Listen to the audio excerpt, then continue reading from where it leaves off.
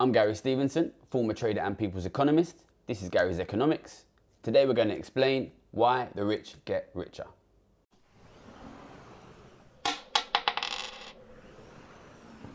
Okay, so there's a common misconception that a lot of people have about why rich people and rich families tend to get richer and richer over time. People tend to believe that getting rich is about getting very good jobs, very high paying jobs.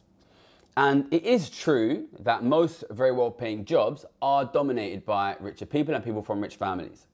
But actually, there's a much simpler reason and more important structurally that explains why rich people tend to get richer and richer over time. And that is quite simply because rich people own all of the wealth, all of the assets in our country, and that forces poor and ordinary people to give all or almost all of their money to rich people every year. We're going to explain in this video how that works. Okay, so in this video, we're going to talk a lot about wealth. And it's important that you understand what wealth is. When we talk about wealth, we're not talking simply about money. We're talking about physical assets such as property, the house or the flat that you live in, the office that you work in, the shops and the shopping centers, and the supermarkets in the city that you live in, and also natural resources like land and oil and gas and coal. If you're not familiar with understanding wealth as these physical resources, I recommend you go and watch our video, What is Wealth, which explains really clearly what wealth is. So you understand what wealth is, and you know that the country is full of wealth, and that is largely properties, which is not just the properties you live in, but also where you work and where you shop, and it's also natural resources like land. Also, crucially, it's things like debt. So, for example, your mortgage, that is wealth for somebody who owns your mortgage, and the government debt is wealth for somebody who lends the money to the government. So, this country is full of wealth, but most ordinary people don't own much wealth. If they're lucky, they own the property that they live in, but they're not likely to own vast amounts of commercial wealth, such as shopping centres or skyscrapers or supermarkets. The vast majority of wealth that is owned in the country is owned by very rich people. And if you look at stocks and shares, who are the corporations who own commercial property, they're overwhelmingly owned by richer people. So the first fact you need to understand is that the vast majority of wealth and assets in this country are owned by richer people not ordinary people. So the next thing you need to know is those assets are often things which ordinary people literally need. So the most obvious case is if you rent the property you live in, that is owned by a wealthy person, you need that property. And that generates a cash flow from you, an ordinary person, to the person who owns your property every month. But even if you do own your property, but with a large mortgage, it's important to understand that a rich person ultimately owns your mortgage. So every single month you make interest payments, they go from you to that rich person. But it goes much deeper than that. Every time you go to the supermarket and you buy your groceries, a big chunk of the money you spend goes to the rich person who owns the supermarket. Also, the rich people who own the land in which the food was grown. And every time you pay your bills to heat your home, a big chunk of that goes to the rich person who owns the natural resources, which might be the coal or the oil, or it might be the wind farm or the solar farm that generates the electricity. So every time you spend basically any money, it's important to consider that that money you spend is not generally going to the workers in that place. You know, in the case of rent and mortgages, there are no workers involved. Every time you spend money in the supermarket or in the shops, a big chunk of your money is going to richer people. So I think it's worth just sitting and thinking about your personal position for a little bit. So for a lot of people, especially a lot of young people, you'll get your money from your job and you'll pay your rent or your mortgage if you're lucky enough to own property. You'll pay your bills.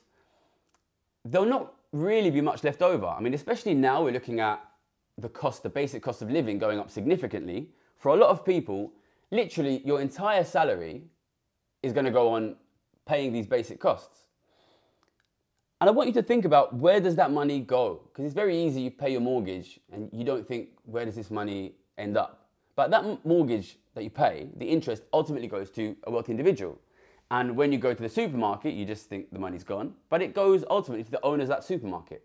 So if you're in a situation where after paying for your basics, 80, 90, even close to 100% of your salary is gone, basically all of your salary has gone to the owners of the assets.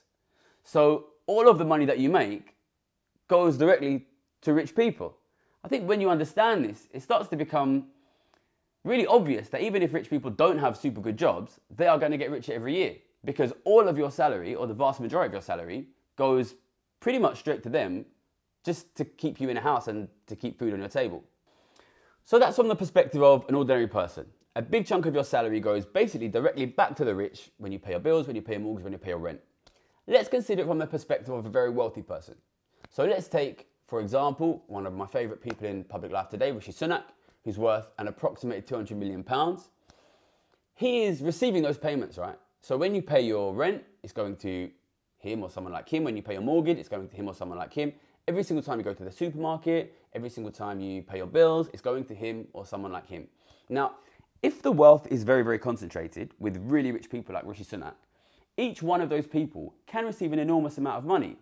So he's worth 200 million pounds. These people typically make about 3% a year on their income, so on their wealth. So he's going to make about 6 million pounds every year just because he owns the assets, because he owns buildings, because he owns natural resources, because he maybe owns your debts. So imagine you're Rishi Sunak. And remember, this six million pounds, it's not money he gets for working. It's money he gets because he owns the stuff that you need and you have to pay him to use it. So he's getting six million pounds every year, every year. Now imagine you're Rishi Sunak and you're getting six million pounds every year just for getting out of bed. Do you think you would get richer year after year? Well, you would. You would, wouldn't you? Because if you're making a six million pound income every year, what are you going to do? You're not going to spend six million pounds a year because that would be totally ridiculous. Uh, I, like you, couldn't even imagine how you would even spend six million pounds a year. He's probably going to spend half a million pounds a year, live like the Queen, who he is reputedly richer than, and save five and a half million pounds a year. So, this mystery of why rich people get richer, it's actually much, much more simple than you think. Rich people get richer because they own all of the things that you use. They own your house, they own your mortgage, they own the supermarket that you do your shopping in, they own the companies that provide your electricity, they own the cinema that you go to, they own the airplanes that you use when you go on holiday. They own everything that you use and you give all of your money to them because they own the stuff that you need, which means that they generate an enormous amount of income from you. So again, Rishi Sunak makes six million pounds a year, literally just for getting out of bed because he owns the stuff that you use. And that money is ultimately coming from you. So when you understand that rich people own all of the assets and get all of your salary, it becomes pretty obvious that they're going to get richer year after year. You make 30 grand a year, you give all of it to the rich people, so you have nothing to save. They make 6 million pounds a year. It's obvious they're going to accumulate money year after year. Okay, so these are the facts. The rich people own everything, ordinary people own very little. Ordinary people pay all of their salary to the rich people every year, and rich people make millions of pounds every year from that money. This means they accumulate a huge amount of cash. It's important to understand what do they then do with that cash? Because this generates a real imbalance in society, right? They keep accumulating more and more and more cash, but you need that cash to live. So how do you get that cash back? Now, there's a few ways that cash flows back from rich people to ordinary people. One way is rich people live really luxurious lives, right? They go on really luxurious holidays, they maybe pay for a lot of staff, they go to very expensive bars and restaurants, they spend a lot of money. And that is one way that ordinary money flows back from rich people to ordinary people. But if inequality gets too high, you get a situation where there's not that many rich people, but they're phenomenally rich. You know, if, if there's broadly equal society, you can have a lot of relatively rich people. But if you have a very unequal society, you have a very small number of extraordinarily rich people.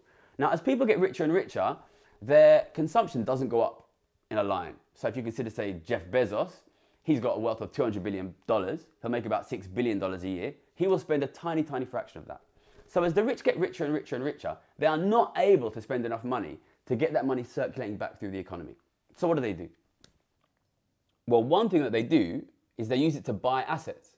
But remember, the rich as a whole are buying assets. So they can't buy them from each other. They need to buy them from the rest of us, poor and ordinary people.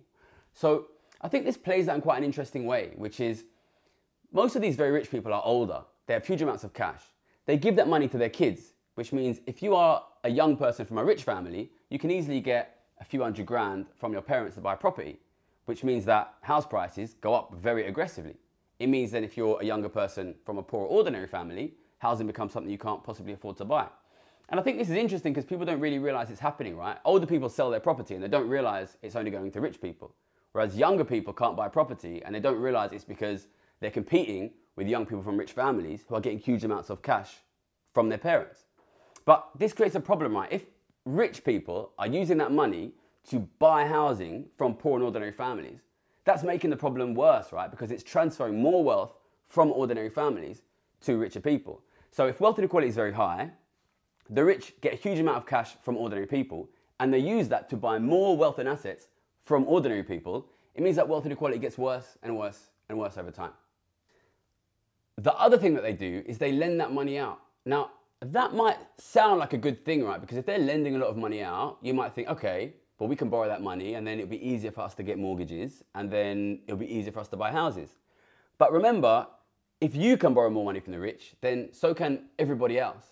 And what this means is you are competing with people who can borrow huge amounts from the rich, which means you have to borrow huge amounts from the rich. And increasingly, we're seeing a situation where, for ordinary people, the only way to get a house is to borrow really, truly enormous amounts of money, especially here in London. You have young people borrowing half a million pounds to buy a house. So if rich people accumulate huge amounts of cash, they use that to buy assets and indirectly force ordinary people into debt in order to do simple things like buy a house. So that money is used to push up asset prices and also drive ordinary families out of being able to own assets. But there's another problem with these cash flows of inequality, which has become much more obvious during COVID. The cash flows that go from ordinary people to rich people, many of them are legal obligations. You have to pay your rent, you have to pay your mortgage, you have to pay your bills. But the cash flows that come back round, especially luxury spending, is basically totally optional for wealthy people. What this means is, in a sense, wealthy people have a stranglehold on the economy. You need their money to pay your bills, but they have the complete choice whether to give you their money or not. And we saw this during COVID when suddenly rich people were not allowed to live lives of extreme luxury. That meant that a huge number of people completely lost their incomes and couldn't pay their bills. And this can happen at any time, basically. If the rich at any time decide to suddenly significantly stop spending money, it will cause an economic disaster for poor and ordinary people. 2008, in many ways, was a similar crisis. When we have this situation where ordinary people continually have to churn money to the rich, and the rich can decide whether to churn money back, our economy is always on the verge of collapse. Okay, so to conclude, rich families keep getting richer because you have to give them basically your entire paycheck every month. It's no more complicated than that. That means they accumulate a huge amount of money from you, your family, and your community every month, every year. They use that money to buy your assets and put you into debt. What that means is, if you don't do anything about it, they will get richer and richer and richer and richer, and ordinary people will get poorer and poorer and poorer and poorer. The consequences of that are exactly the kind of consequences we're seeing now. If these guys are super rich and the rest of us are super poor, then they will consume all of the natural resources, which means that we will not be able to afford basic things like food and heating. So this is a really significant problem, and in the absence of any action against it, it will get worse and worse. You know, it's kind of like a cancer in our society. It will only grow if we don't do anything about it. And what COVID has shown us is it's created a massive, massive increase in inequality in a very short period of time. And it's showing us really clearly what the consequences of that are. If inequality gets massively bigger, then ordinary people will see their quality of life decrease. House prices will go up, which will mean ordinary people can't afford to buy houses. And increasingly, if you do want a house, you have to take massive amounts of debt. So COVID has made it really clear what happens when inequality increases. But I think what I want to make clear in this video is in the absence of any action against it, that will get worse and worse and worse over time. Because as inequality increases, fewer of us own assets, which means we have to pay more money to them, which means they will get richer, which means they will buy more of our assets. To conclude, rich people get richer because we give them all of our money. They use that money to make themselves richer and us poorer. If we don't do anything about it, things will get worse and worse and worse. So I would encourage you please to support me and this channel in pushing politicians to make a wealth tax happen to make things more equal going forward. Thank you. Yeah? yeah.